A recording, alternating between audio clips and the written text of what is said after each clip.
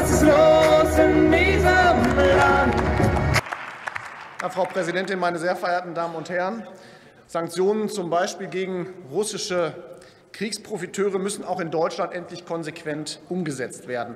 Dieses Ziel verfehlen SPD, Grüne und FDP mit ihrem Gesetz leider, und sie handeln gegen die einhelligen Ratschläge der Fachleute als, Zitat, unausgegoren, untauglich, halbherzig und behäbig, Zitat Ende, bewertet es zum Beispiel die Gewerkschaft der Polizei.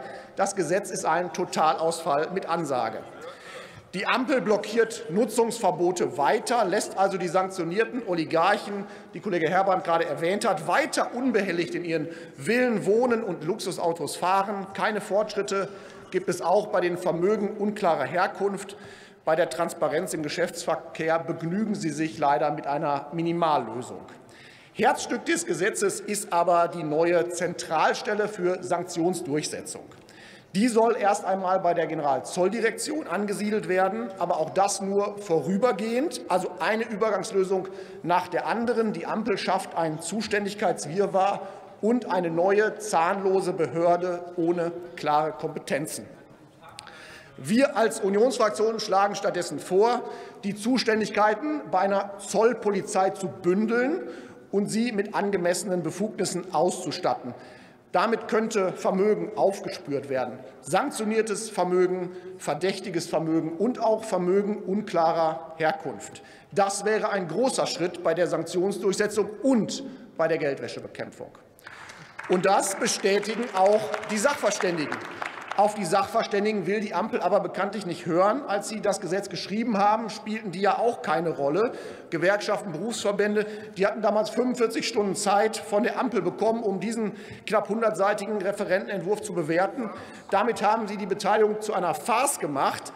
Und als die Sachverständigen dann endlich zu Wort gekommen sind, in der öffentlichen Anhörung im Finanzausschuss, da haben die Sachverständigen kein gutes Haar an der von der Ampel vorgesehenen Struktur gelassen.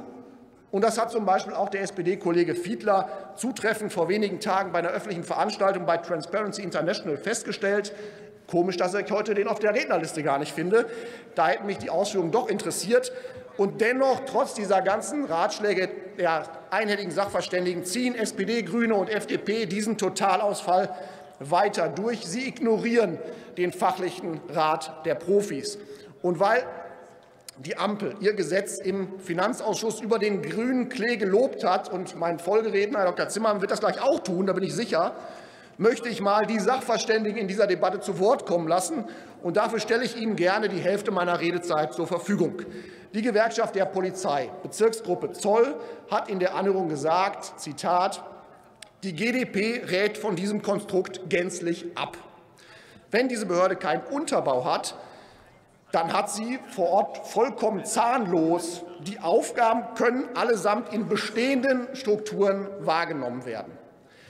Der Bund Deutscher Kriminalbeamter äußerte sich in der Anhörung in genau die gleiche Richtung. Zitat, unser Vorschlag ist, dass wir die bestehenden Kompetenzen nutzen müssen.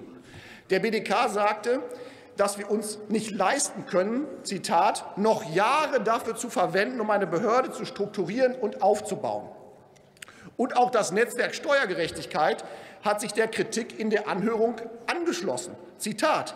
Wir haben auch mit der GdP und dem BDK relativ ähnliche Vorstellungen, wie das in die bestehenden Strukturen einsortiert werden kann. Und genau die gleiche Kritik kam in der Anhörung auch von der Wissenschaft. Der Strafrechtler Professor Wegner sagte, Zitat, dass es zweckmäßiger wäre, die bestehenden Strukturen aufzuwerten. Und auch er kritisierte die von der Ampel geplante Zentralstelle, Zitat, was auf keinen Fall funktionieren wird, ist, sich mit einer Art intellektuellen Kopfbehörde aus, auf Amtshilfeersuchen zu verlassen. Und der Wirtschaftswissenschaftler Professor Winkler fasste zusammen, Zitat, in vielerlei Hinsicht enttäuscht dieser Entwurf uns alle die wir im Sanktionsbereich arbeiten, massiv. Und auch das Presseecho der Anhörung war eindeutig. Ein Zitat, Zentralstelle für Sanktionsdurchsetzung stößt auf Ablehnung, um nur ein Beispiel zu nennen. Breite, Ab Ablehnung also für ihre Strukturvorschläge. Es gab dann doch eine einzige Sachverständige, die hat das Gesetz nicht verbal zerrissen, nämlich die Generalzolldirektion. Zufällig genau die Stelle, bei der die Ampel diese Generalstelle äh, diese Zentralstelle zunächst ansiedeln will. Und sogar diese Generalzolldirektion baut für den Fall des Scheiterns schon einmal vor. Sie sagt, Zitat, Allerdings sehen wir Schwierigkeiten aufgrund des relativ kurzen Zeitpunktes, zu dem die Arbeitsfähigkeit gesichert sein soll. Zitat Ende. Und weiter führt sie dann aus, Zitat, für diese Aufgabe existiert kein speziell ausgebildetes Personal, da diese Aufgabe ja vollständig neu ist. Also diejenigen, die die Aufgaben nach Wunsch der Ampel übernehmen sollen, schrauben die Erwartungen schon einmal nach ganz, ganz, ganz unten. Mit der Sanktionsdurchsetzung geht es mit der Ampel jedenfalls nicht voran. Und die Ampel weiß eigentlich selbst, dass ihr Gesetz schlecht ist. Sie hat seitenweise Protokollerklärungen verlesen, was alles noch fehlt im Gesetz. Nach dem schlechten StG I haben Sie ein zweites angekündigt, nach dem zweiten schlechten kündigen Sie jetzt ein drittes an.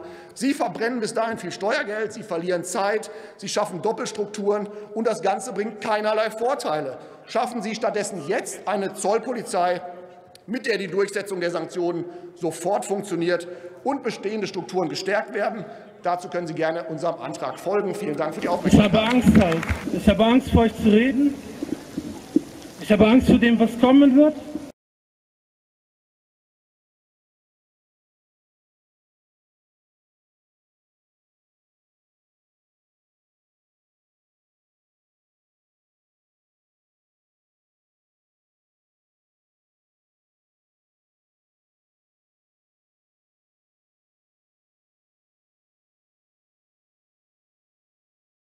Gott, sind Sie naiv. Er ist der mächtigste Mann in dieser Stadt. Was denken Sie denn, wer dieses Land hier regiert? Doch nicht die Politiker. Geld ist die Macht. Das verdammte Geld regiert die Stadt. Geld stellt die Regeln auf. Cannabis. Wenn man reich ist, dann hat man alle Macht dieser Welt. Sie bestimmen die Regeln. Das wird sich auch nicht ändern. Niemals. Und niemand wird das jemals ändern. Irgendwas muss geschehen. Ich meine, jemand sollte aufstehen und ihnen sagen, es reicht, es ist Feierabend. Und wieso sehen Sie mich an? Und schon vor langer Zeit musste ich vergessen, was Recht war.